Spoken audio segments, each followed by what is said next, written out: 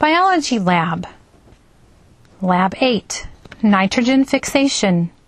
Introduction. Nitrogen is the most abundant element in our atmosphere. It is a vital element as many classes of compounds essential to living systems are nitrogen containing compounds. Nitrogen is a primary nutrient for all green plants, but it must be modified before it can be readily utilized by most living systems. Nitrogen fixation is one process by which atmospheric nitrogen is converted into ammonia. Nitrogen fixing bacteria carry out this complex process. The bacteria live in soil or in the roots of certain plants called legumes. Plants that are legumes include bean and pea plants. The process of nitrogen fixation only occurs in these locations because the chemical reaction can only take place in an environment that is free of oxygen.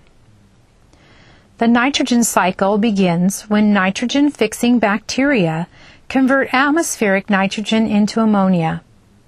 The ammonia that is produced is used, assimilated, by living systems to create organic compounds such as proteins and nucleic acids. When organisms die, the organic molecules in their bodies and the nitrogen they contain are broken down by decomposers. Decomposition releases the nitrogen back into the environment as ammonia. This process is known as ammonification. Other organisms can then reuse this ammonia. Some of the ammonia produced by nitrogen fixation and decomposition is converted into nitrates by nitrifying bacteria. This process is called nitrification. Denitrifying bacteria act on these nitrates, converting them into free nitrogen, N2. This process is known as denitrification. Nitrogen that has been nitrified and denitrified is returned to the atmosphere. This process completes what is commonly referred to as the nitrogen cycle. Materials for this lab. Nodules from the root of a legume such as clover, alfalfa, or beans, tweezers, slides and sl- slip covers, toothpicks, safranin stain, compound microscope, and a dissection microscope. Procedure Observing the nitrogen fixing bacteria. Number one, obtain a root from a nitrogen fixing plant. 2. Examine the root under the dissection scope. Draw a detailed picture of the root. Label the nodules and the roots. 3. Remove a single nodule using tweezers.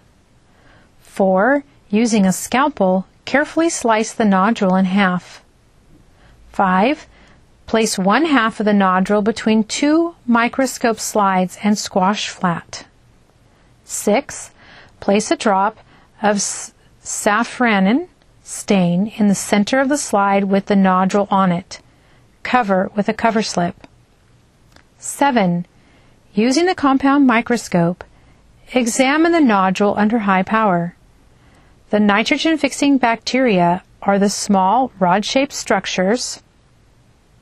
They are very small but numerous and appear to be small threads.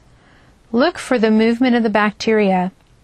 If the dye intensity is too great to see any contents, remove the slip cover and add a drop of water and view again. Adjust the diaphragm for best viewing.